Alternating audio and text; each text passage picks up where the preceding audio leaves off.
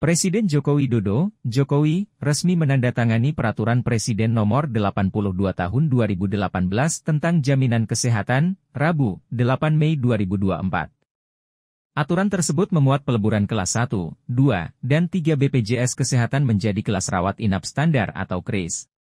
Berdasarkan pasal 103B ayat 1, Perpres nomor 59 tahun 2024, KRIS akan diterapkan secara menyeluruh untuk rumah sakit yang bekerja sama dengan BPJS Kesehatan paling lambat 30 Juni 2025. Lantas, apa itu KRIS? Mengenal kelas rawat inap standar atau KRIS berdasarkan pasal 1 ayat 4B Perpres nomor 59 tahun 2024. Kelas rawat inap standar atau KRIS adalah standar minimum pelayanan rawat inap yang diterima oleh peserta BPJS Kesehatan. Penerapan KRIS menggantikan kelas BPJS Kesehatan bertujuan untuk meningkatkan kualitas layanan rawat inap peserta. Selain itu, KRIS juga memberikan pelayanan satu kelas yang sama rata bagi pasien pengguna BPJS Kesehatan. Dengan begitu, pelaksanaan BPJS Kesehatan memenuhi ketentuan dan prinsip ekuitas atau keadilan. Penerapan KRIS juga sesuai dengan prinsip gotong royong yang diamanatkan UU Sistem Jaminan Sosial Nasional, SJSN. Fasilitas KRIS dalam penerapannya, KRIS BPJS Kesehatan harus memenuhi 12 kriteria fasilitas ruang perawatan sebagaimana ditetapkan dalam pasal 46A Perpres nomor 59 tahun 2024. Berikut 12 persyaratan mengenai fasilitas kelas rawat inap standar yang wajib dipenuhi. Komponen bangunan yang digunakan tidak memiliki tingkat porositas yang tinggi. Ventilasi udara memenuhi pertukaran udara pada ruang perawatan biasa minimal 6 kali pergantian udara per jam. Pencahayaan ruangan buatan mengikuti kriteria standar 250 lux untuk penerangan dan 50 lux untuk pencahayaan tidur. Kelengkapan tempat tidur berupa adanya dua kotak kontak dan nurse call pada setiap tempat tidur. Ada nakas per tempat tidur. Dapat mempertahankan suhu ruangan mulai 20-26 derajat Celcius. Ruangan telah terbagi atas jenis kelamin, usia, dan jenis penyakit, infeksi dan non-infeksi. Kepadatan ruang rawat inap maksimal 4 tempat tidur, dengan jarak antar tepi tempat tidur minimal 1,5 meter. Tirai partisi dengan rel dibenamkan menempel di plafon atau menggantung. Kamar mandi dalam ruang rawat inap.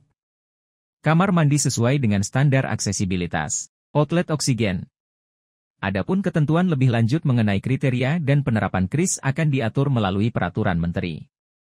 15 RS lakukan uji coba KRIS sebelumnya pada 2023. Sebanyak 15 rumah sakit melakukan uji coba penerapan kelas rawat inap standar atau KRIS. Dilansir dari kompas.com, 15 rumah sakit terpilih itu tersebar di sejumlah wilayah di Indonesia. Berikut rinciannya. RS Dr. Tajudin Halid Makassar RS Dr. Johannes Leimena Ambon. RSUP Surakarta, kelas C, RS Dr. Abdullah Palembang. RSUP Karyadi Semarang. RSUP Dr. Sarjito Sleman. RSUP Soedarso Pontianak. RSUD Sidoarjo. RSUD Sultan Syarif M. Al-Kadrie Pontianak. RS Santosa Kopo Bandung. RS Santosa Sentral Bandung. RS Awal Bros Batam. RS Al-Islam Bandung. RS Ananda Babelan Bekasi. RS Edelweiss Bandung. Kepala Biro Komunikasi dan Pelayanan Publik Kementerian Kesehatan Siti Nadia Tarmizi menyampaikan, sebanyak 2.358 dari total 3.039 rumah sakit yang ditarget telah menyatakan siap mengimplementasikan 12 kriteria KRIS. Proporsi itu cukup besar karena mencapai 78 persen. Dilansir dari kompas.id, Data Sistem Informasi Rumah Sakit, SIRS, Kementerian Kesehatan per 31 Januari 2024 menunjukkan, total rumah sakit yang terdaftar di Indonesia sebanyak 3.164 rumah sakit.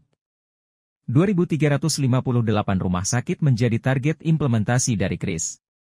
Sementara 125 rumah sakit menyatakan bisa menerapkan kriteria KRIS dan 681 rumah sakit menyatakan belum siap menerapkan KRIS.